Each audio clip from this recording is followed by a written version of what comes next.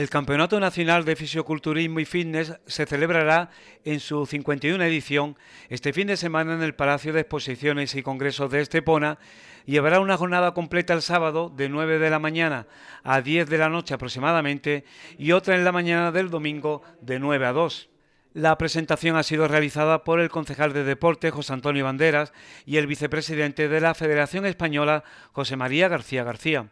En nuestro país hay federados más de 200 clubes y en Andalucía unos 40. De hecho, la mayor representación en este campeonato procede de la comunidad andaluza, además de Cataluña.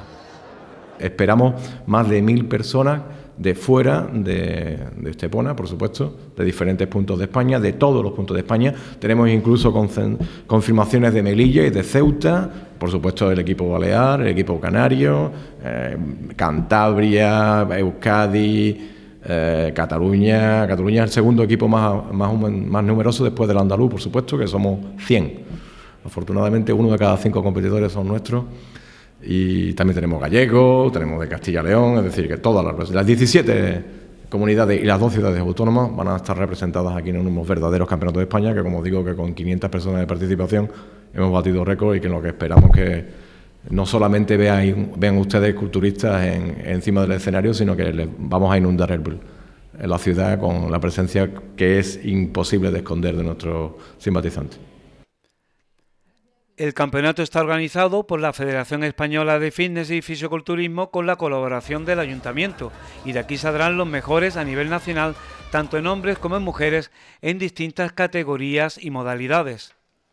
Dar las gracias a, toda la delegación de deportes que, se ha aportado estupendamente con, la organización. Eh, hacer ver que no es un simple campeonato de España, estamos hablando de la 51 edición del Campeonato de España absoluto, que quiere decir que es un campeonato con solera, que no es un campeonato que, de, una, federación que, no hemos inventado, es una, una federación